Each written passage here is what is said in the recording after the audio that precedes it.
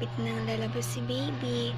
At today, yung gagawin ko is mag-aayos ako ng mga ah, gamit namin ni baby. Gagamit niya para sa panganganak ko. Kasi malapit na kaya dapat i-prepare na lahat ng gamit para during that time busy na hindi na mag ano hindi na matataranta kasi nakaano na lahat. Excuse me. Nakaayos na. So I'm going to uh, prepare our hospital bag. I know hospital box pala kasi dito ko siya ilalagay sa box. Hindi siya sa bag. So I choose this box para uh, masecure siya at saka hindi mapapasukan ng alikabok So, gagawin ko tong video ko just for a documentation during my pregnancy. Para na rin um, someday may titingnan ako pag nakalabas na si baby kasi um, di natin alam baka once in a lifetime na ako mabuntis. Joke. So, ito na nga. My baby is a baby boy kaya almost yung ng hinihanda kong ano, hinihanda naming damit is for baby boy. Pero pwede rin siya pang girl kasi um, kulay unisex naman siya. Hindi naman siya totally pang panlalaki lang. Um, so, someday rin, baka um, magkaroon pa siya ng little sister, eh di may magkagamit pa kami, ba diba? So, yun, yung gagawin natin nga, mag-prepare ng gamit ni baby kasi one month to go he is here na diba so excited na so gagamit ako ng plastic na may ziplock. Ito may ziplock. Mas um, mas gusto ko tong ano gamitin bago ilagay doon sa box kasi may lock siya. Tapos masisegregate mo yung gagamitin ni baby. Tapos hindi siya mahirap. Pag nandun na kami sa ano hospital or kung saan ba ako mga anak? Sa lying in. Hopefully doon lang. Kasi mahirap po sa hospital ngayon. Since um, may COVID-19 pa. So mas gusto ko doon na lang sa lying in. Kasi hindi gaano hindi gaano matao. Tapos para na rin sa ano sa ano bang tawag doon para hindi ano hindi kami open sa mga taong labas-pasok ba diba?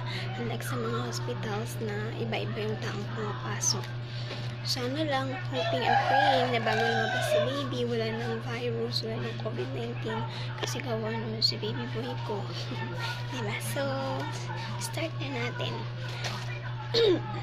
Excuse me. So first, we have here. Maganda tong plastic ko kasi may lock siya. Hindi siya mabilis pasukan ng mga alikabok. Tapos, damit ni baby.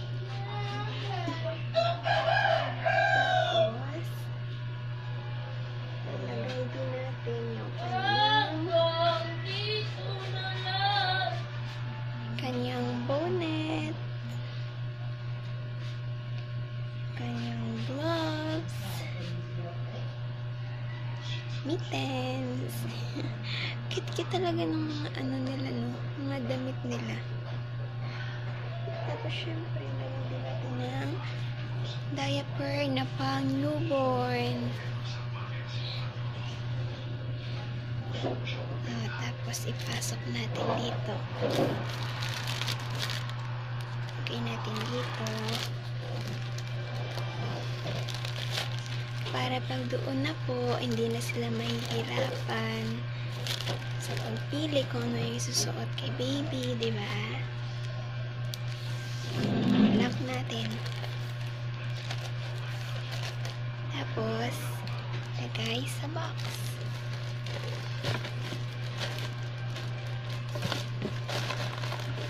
Lagay natin sa box.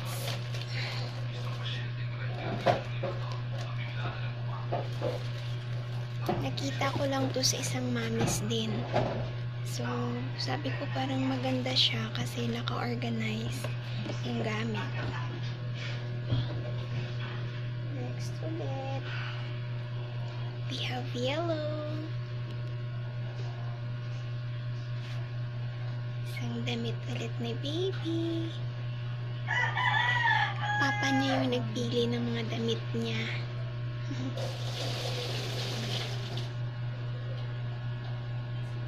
Mm, yellow din. Yung cloves.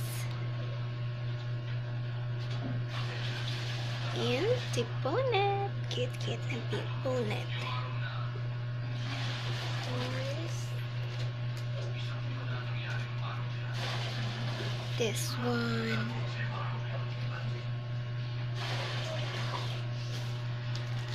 Pasok ulit sa plastic. And, dun siya.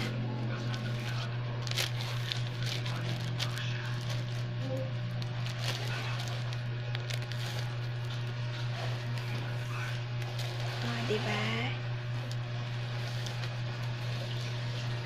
Aayusin ko na kasi baka dumating yung time na andun na tayo eh mas mauna pang mataranta yung papa niya. Kasi kaming dalawa lang nandito kaya dapat bagong lahat naka-prepare na para bitbitin na na lang, diba? Next is this one.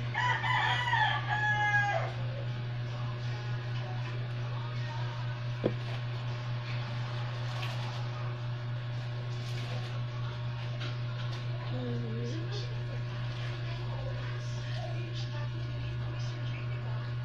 The green one. Pagdamit niya. Naplansya ko na rin ang mga to. Kaya, nothing to worry.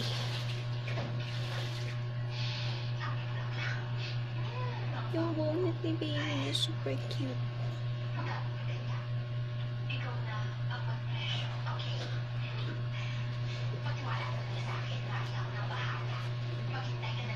Choose three pairs lang yung dadalhin namin doon.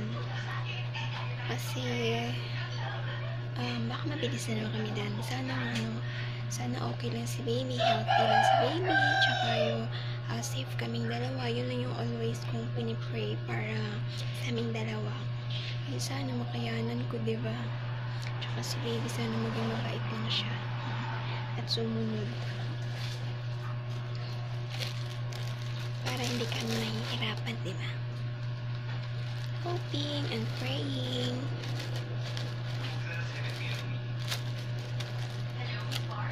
Mm.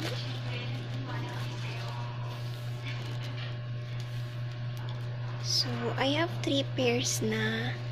Ito lang yung damit ni baby. Dadali namin. Meron na siyang ibang gamit. Bali, isi-separate ko rin to Ah, kung sakali, ba, may choices pa rin sila o may magagamit pa rin. Lagay ko ito sa isang lagayan. Tapos, eto. Ito yung mga cloth. Lampin. Ilalagay ko rin to sa isang lagayan para mas madali nilang makita. isang plastic dito. Yung lampin. Konti lang yung binili naming damit ni baby kasi mabilis din daw kasi sila lumalaki kaya bili na lang sa susunod, diba? At saka yung iba, medium na yung ano, yung piniling size ng papa niya. Kasi daw, baka after one month, pag small lahat, hindi na magkasya kay baby. Diba? Kahit pa paano nag-iisip na siya. I love you, Papa. Ito naman yung Ang punas kay baby. Excited na kasi kami. Malapit na si baby mayakap-yakap. Dalawa din to.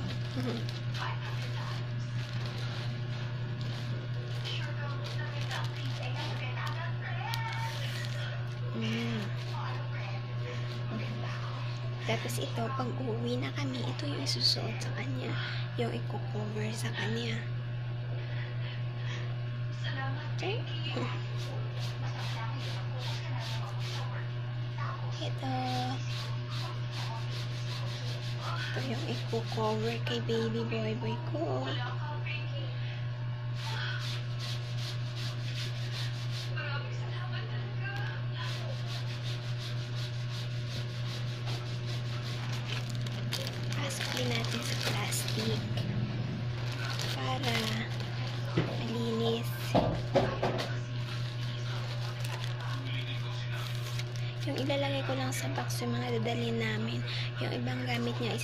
Isi-separate ko na lang.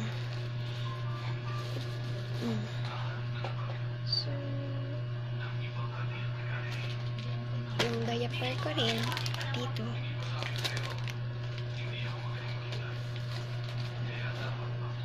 Baka magdadala tayo ng extra diaper ni baby. I choose EQ. EQ Dry for newborn. Siguro 5 yung dadali natin kay baby. Kasi mabili, mabilis daw sila ano, umiihi. Maya-maya umiihi. Or 6 kasi balik na naman yung ano. Balik naman natin yung um, hindi magagamit, di ba? In case lang, prepare tayo ng extra.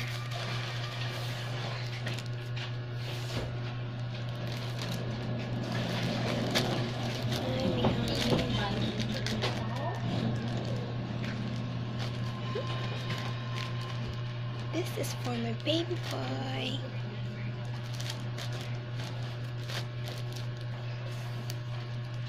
Wala kasi akong gagawin eh. Boring kasi wala namang walang trabaho kasi naka-home quarantine lahat. Kaya ito na lang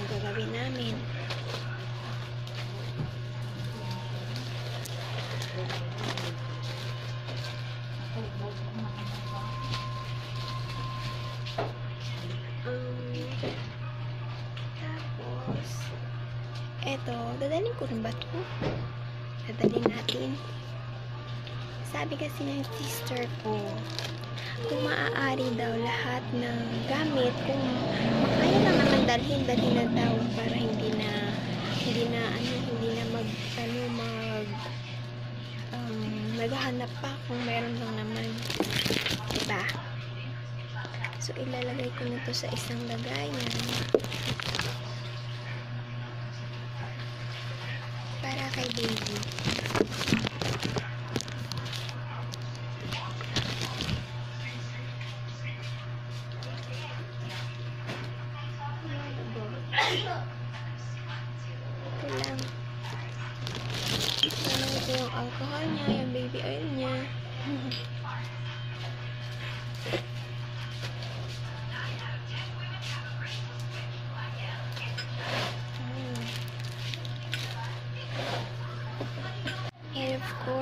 this one, magdadala din tayo nito. Pero sabi nila, bawal daw to kasi dapat sa mother um, dumidili si baby. Pero hindi natin alam, baka wala akong gatas, ba? Pero sana meron lang para hindi mahirapan si baby. Tsaka, um, dito talaga siya unang dumidi sa akin, ba?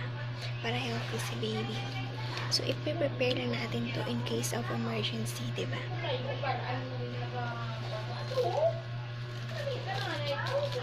Pero wala pa, hindi pa ako nakabili ng milk ha. Sa akin na lang.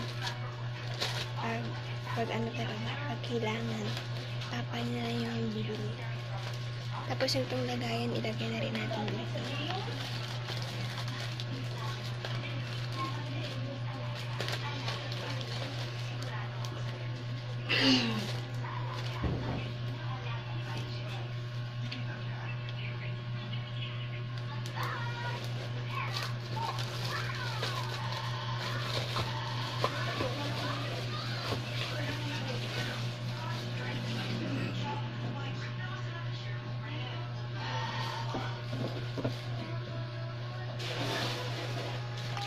Tsaka yung wipes niya.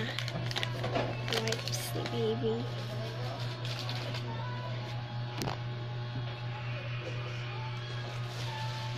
So, mamis, yun lang siguro yung dadalhin ko, no? Ito lang, lahat. So, um, thank you kasi nagawa ko na ito, naayos ko na siya, finalize ko na siya, and we're ready to, uh, I'm ready rather to give birth to my baby boy. And, meron pa pala akong diapers dito, yung, um, cloth diaper siya. Mayroon siyang pads na ganito. Binili namin siya through online. Binili ng sister-in-law ko for my baby boy. And thank you for that, sister. Nag-prepare kami nito para hindi gaano magastos sa diaper kasi um, washable ito. Washable siya. So, thank you pala dun sa ano, Neo Baby. Neo Baby, ano, kasi sa kanila ko ito binili. Maganda din siya. Tsaka makapal yung ano, yung um, cover niya. Good for 3 to 5 hours. No. 5 to 6 hours na pwede maisuot si baby, maisuot kay baby. So, maganda siya kasi washable lang.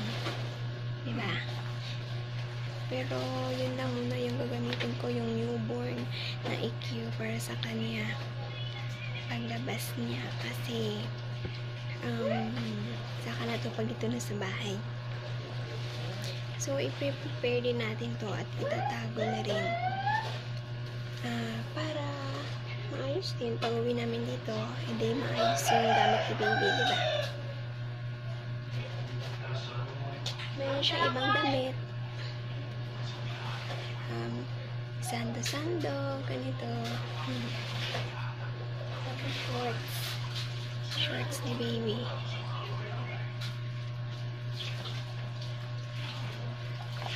Malilito na ba si baby doon? Kasi yung sabon niya eh. Darin ko lang. Baka sakali.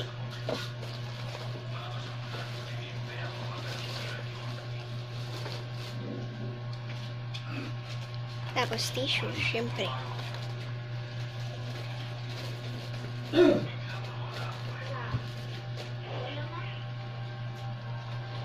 So, yun na nga mga mamis. And for the first time, mom, nakagawa na ako ng documentation ko for my baby. Um, sa mga gamit niya. Para someday, meron din akong remembrance. So, thank you for watching and sana um, mag-prepare kayo ng gamit ng baby nyo. Ganun din kagulo, joke. Ganito din. Para secure yung gamit ni baby. Para, um, ano siya, malinis, diba? Uh, so, yun nga. Thank you so much. And, siguro, paglabas ni baby ko, makagawa na kami ulit ng mga videos kasama siya, kasama na siya, diba? So, parang kailan lang. So, itago na natin ito kasi magamit pa natin, natin to sa mga ibang gamit niya para maging organized din. So, thank you for watching. Bye-bye and God bless. And good luck sa ating mga mamis. Team April, malapit na po.